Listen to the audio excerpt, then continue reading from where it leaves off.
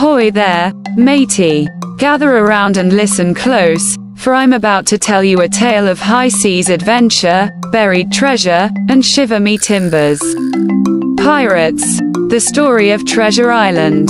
Our yarn begins at the Admiral Benbow, a cozy inn run by young Jim Hawkins and his widowed mother. 1. Stormy night.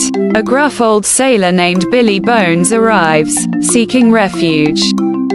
With a mysterious sea chest and a constant fear of a one-legged man.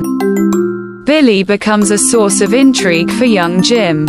Tragedy strikes when a black spot, a pirate's mark of death, is delivered to Billy. He falls ill and soon meets his end in a brawl. Jim, with a quick mind and a pounding heart, escapes with Billy's treasure map, a boozy doctor named Livesey, and the brave Squire Trelawney. Their quest for Captain Flint's legendary loot leads them across the ocean on the Hispaniola, a schooner captained by the seemingly trustworthy Long John Silver. But beneath Silver's charming smile lurks a pirate's heart, for he secretly plans a mutiny to claim the treasure for himself. Jim, acting as cabin boy, overhears Silver's plotting and becomes entangled in a web of danger.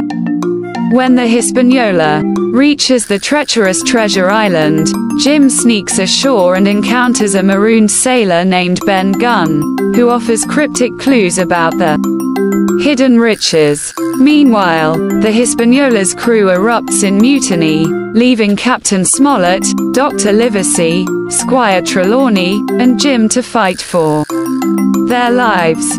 Jim, with his youthful agility and newfound resourcefulness, becomes a thorn in Silver's side, leading the loyal crew on a desperate struggle for survival. As the hunt for treasure intensifies, the group faces treacherous swamps, booby traps, and the ever-present threat of Silver's pirates. Jim, relying on his wit and courage, outsmarts his enemies and navigates the dangers of the island, ultimately leading his comrades to the hidden treasure cave.